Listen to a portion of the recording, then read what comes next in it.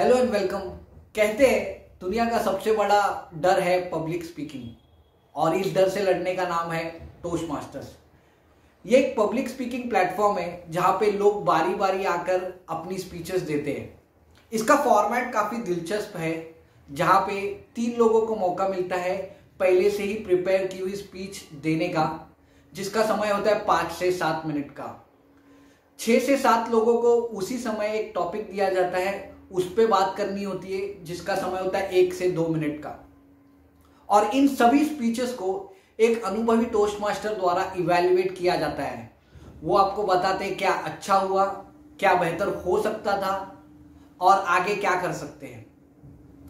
पूरे दो से ढाई घंटे पब्लिक को एड्रेस करना होता है गेस्ट को एड्रेस करना होता है, इसीलिए इसे पब्लिक स्पीकिंग प्लेटफॉर्म कहा जाता है। Thank you